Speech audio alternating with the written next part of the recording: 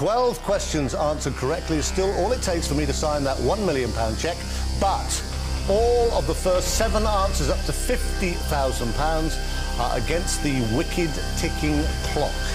Now, for the first two questions, Karen only has 15 seconds to answer, so she has to keep her wits about her. Ready for this?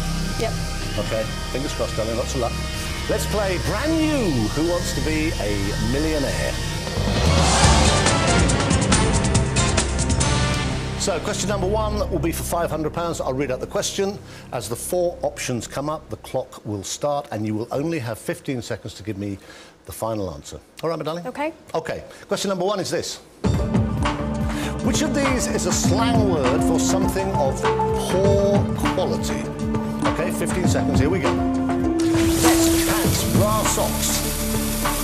It's pants. Final answer. It's the right answer. You've got £500. It's tough, isn't it? I have to tell you, it's the last point at which you could go home with nothing. I'm sure you won't. You're a bright early. You've got all three lifelines left. Question number two would guarantee you going back to Liverpool with at least £1,000. Here it comes. In the game Twister, what shapes are used on the mat? Here they come. Stars, circles, triangles, crescents. Final. It's the right answer. You got £1,000.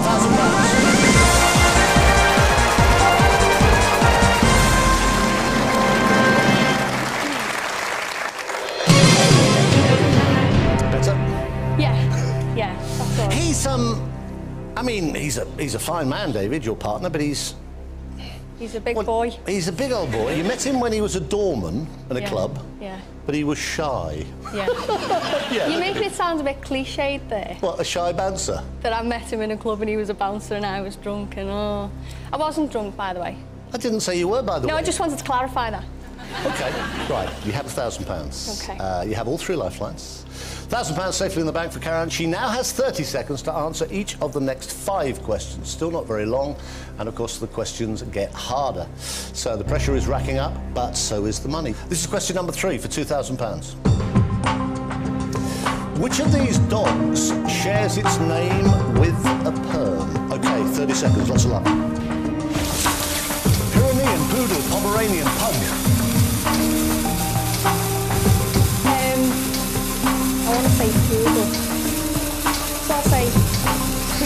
final answer. Why were you so hesitant? Because we, in Liverpool, that's like a skit for someone, like you've got a poodle head. Do you know what I mean? No. So I'm thinking, is that like real? Do other people call people poodle head?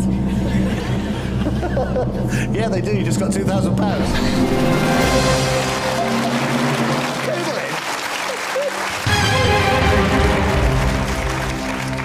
This thing. You're an orthoptist. Yeah.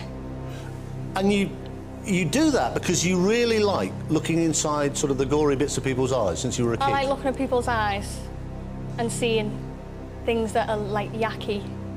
But what I find funny is that you you, you really like looking into the gory bits of people's eyes, but you're absolutely paranoid about baked beans. Oh. baked beans move on their own. So do people's eyeballs. No, no, they, They move. do. They move on their own like maggots going over each other. Oh, oh I was washing the dishes once and I, and I pinched one in my fingers and I was sick in the What, sink. an eyeball? oh, sorry, I've A lost the plot. bean, a bean. I was sick in the sink. Oh, just thinking about it turns my stomach. You're a weird human being. Um, you have £2,000. You have three lifelines left. You are four away from £50,000. They're all against the clock. If you do get the 50 grand, you get another lifeline. So, question number four is for £5,000. You've got 30 seconds to give me the right answer. Here it comes. Hepatitis is the inflammation of which organ of the body? 30 seconds. Kidney, liver, heart, brain. Right. I'm fairly sure it's the liver. I'm fairly sure it's the liver. I'm going to say liver. Final answer. Not kidney, not heart. definitely not heart. It's the right answer. You've got £5,000.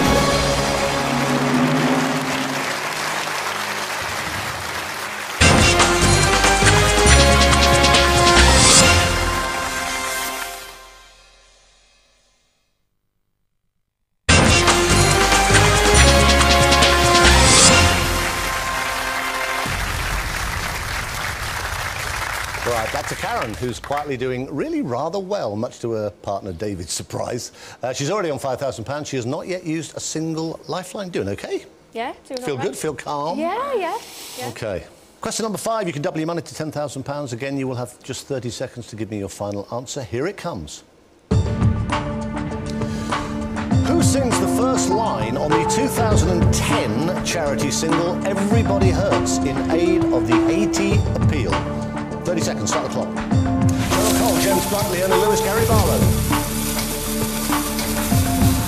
You know, I have been lazy. So, I think I'm going to have to ask you all these, please. Okay, clock stops at 19 seconds. Audience, all on your keypads, please. This is the question. It's worth £10,000. First lifeline Karen's needed. Who sings the first line on the 2010 charity single Everybody Hurts in aid of the Haiti appeal? Now, A on your keypads is Cheryl Cole, B is James Blunt, C Leona Lewis, D Gary Barlow. A, B, C or D, all vote now.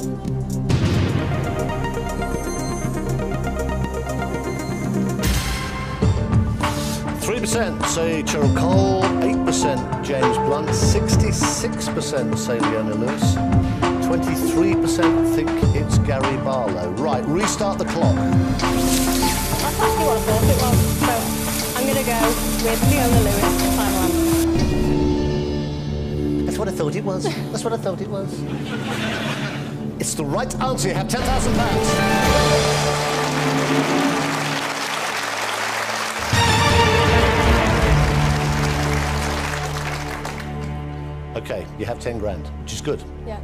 What sort of money are you aiming for?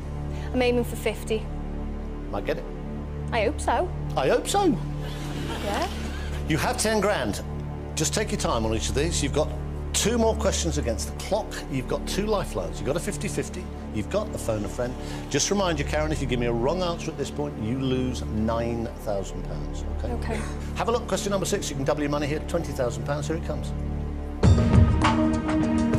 World Cup of which sport usually takes place in the same year as the Commonwealth Games? Start the clock. Cricket, rugby league, football, rugby union. I haven't got a clue, so I'd like to phone friends. Okay, stop the clock there. Phone a friend now. Um, let's have a little look. Can't wait to see what your friends look like. Um, well, you got Anna, who looks terribly pleased with life. Maureen and um, Mal, who didn't send us a photo, basically. Yeah. So, which one are we going to go for? Right, well, I don't think Anna or Maureen would know that, so I'm going to have to ring Mal. Okay, right. So we'll phone, we'll phone Mal. Um, how do you know them? Mal is my friend Jane's dad.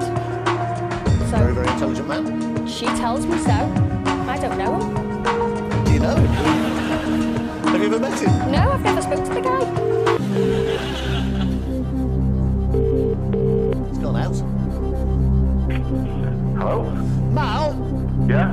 Chris Tarrant here. How are you? Oh, hi, Chris. I'm fine, thanks. How are you? Ah, I'm okay. Now, we've got, um, we're right in the middle, as you know, of, of Who Wants to Be a Millionaire.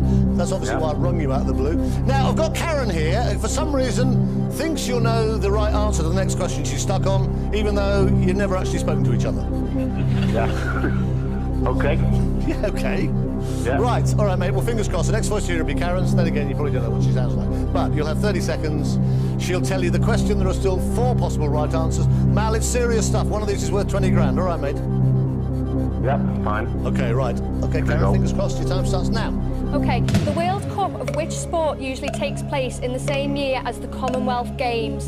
Is it cricket, rugby league, football, or rugby union? Just repeat. What's the year? In the same year as the Commonwealth Games, which World Cup? Is it the cricket, rugby league, football, or rugby union? Uh, I'm not entirely sure. It's not. It's not football. Quick as you can, Mal. No, I don't know. Wouldn't Good choice. I know, yeah, wasn't it? Restart the clock. Right, I'll have 50 then, please. Okay, right, stop the clock again. Right, computer take away two random wrong answers. Leave Karen the right answer and the one remaining wrong answer. Right, okay. He said it wasn't Restart the football. clock. He said it wasn't football, so I'm going to go to rugby league, final answer. You don't know who he is. I know, don't Oh, really what? have- You got 10 grand. Well,